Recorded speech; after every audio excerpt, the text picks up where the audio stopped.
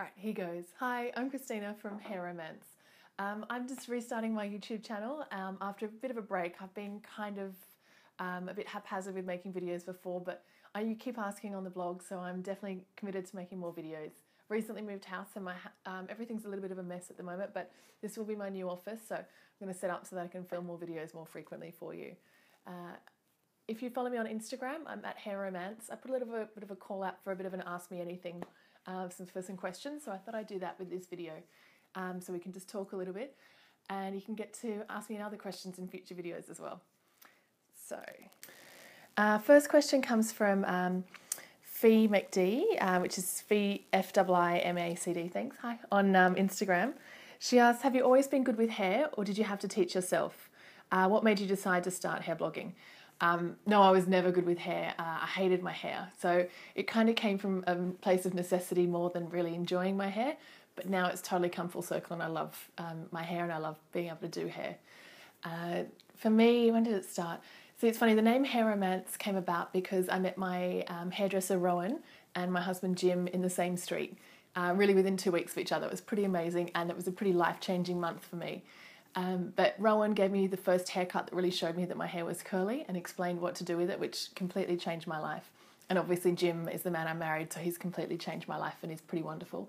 Um, so that's how, pardon me, how hair romance came about.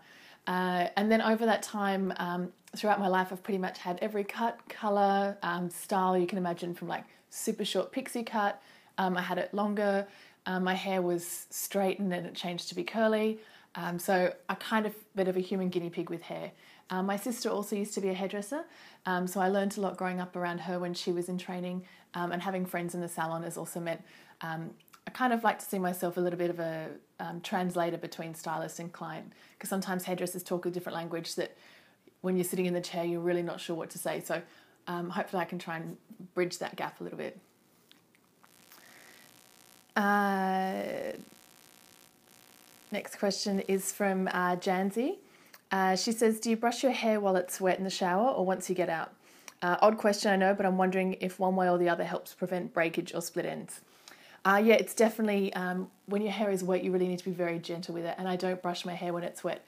I do use a wide tooth comb. I think I've got one here. Um, I use a comb like this with like a really wide tooth. Um, I use that in the shower once I've got conditioner in my hair, and I use that to detangle. The rest of the time, I don't really worry. Um, I can use sometimes another tip if you've got curly hair and you want to detangle knots is to use a little bit of a leave-in conditioner spray and just use your fingers to gently pull apart the hair to detangle the knot. Otherwise, just wait till you're in the shower, um, shampoo, then conditioning, and then work it out. Um, and I always, um, especially when detangling, start combing at the bottom and then work your way up. Uh, Crazy Mixer 19082011 says, What advice would you give to young braiders? Uh, and I think keep practicing. Um, there's so many beautiful braiders on um, Instagram. I get lots of inspiration from uh, the Instagram community and also with the braiding challenges that happen. Um, I would also, if you're looking to kind of grow your following on Instagram, um, pick a really um, similar background to take all your photos um, and use the same filter all the time. Uh, and edit your photos a little bit as well. I like using Snapseed and uh, even like the little Photoshop app on your phone works really well, but Snapseed is probably my favourite one. And PicTapGo is good as well for creating your own filter recipe.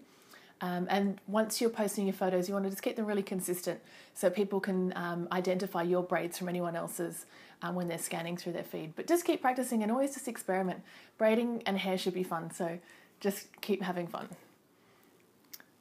Uh, Callie Norris 24 asks, What are your favourite products? Oh, where do I begin? Um, still don't have like a 100% holy grail curly hair product that I like, um, but I have been trying a few lately. Um, I quite like uh, Evo, um, is an expensive range, but really, really beautiful products. Um, I love the Schwarzkopf um, hair powder. That is the volume powder. It's probably one of my favourite products that I give to everybody because it's just an amazing volume lift and it's great value. Um, what other products do I love? Um, dry shampoo. Pretty much can't live without dry shampoo. I use that a lot.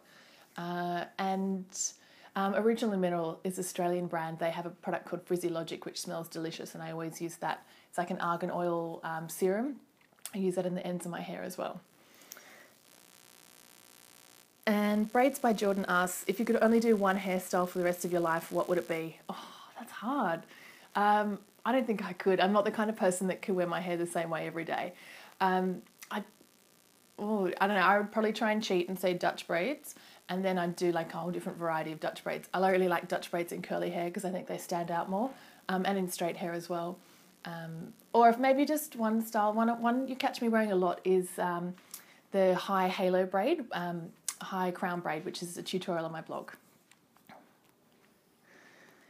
And Hairstyles by Adria asks, what kind of brush is the best to use when you have wet hair?